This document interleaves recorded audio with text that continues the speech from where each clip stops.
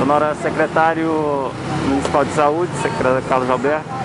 Hoje é o início da campanha Dezembro Vermelho, prevenção contra a AIDS. Eu queria que o senhor deixasse uma fala, principalmente as pessoas, de orientação, o que, que podem fazer para prevenir ainda mais, né?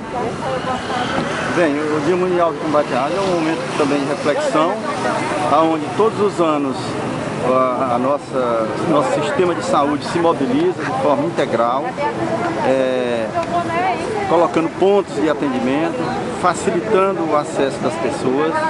Estamos agora com novos projetos onde nós estaremos descentralizando esses serviços, onde nós estamos é, dentro da especialização é, dando um atendimento, digamos assim, é mais, mais ostensivo e a, o atendimento básico está fluindo para as unidades básicas, além do, do que aquelas situações mais complexas, é, como, como já se esperava, flui para alta complexidade e isso tudo está sendo monitorado pelo CTA.